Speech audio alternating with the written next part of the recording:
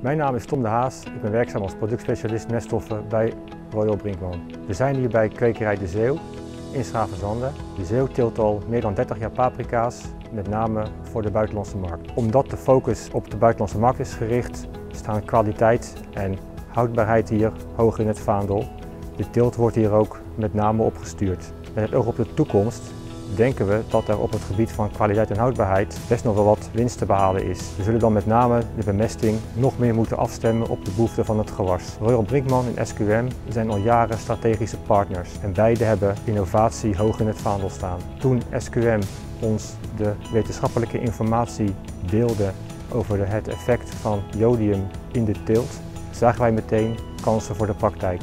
Bij Kwekerij de Zeeuw hebben wij via het product Ultrosoline vanaf het begin jodium via het voedingswater aangeboden aan het gewas. Nu zijn we een half jaar verder en kunnen we een aantal zaken. De gewassen zijn eigenlijk heel erg goed in balans. Dat wil zeggen dat de zettingen elkaar goed opvolgen en het gewas geen dip heeft gehad na een bepaalde zetting. Nu, na een half jaar teelt, kunnen we een aantal conclusies trekken aangaande de productie en de kwaliteit. Ondanks het donkere weer was de eerste zetting dit jaar erg goed. De productie tot nu toe ligt op niveau en ook de kwaliteit is zoals die zou moeten zijn. Verder zijn de gewassen prima in balans. De zettingen volgen elkaar goed op en er is geen dip in de groei geconstateerd na een bepaalde zetting.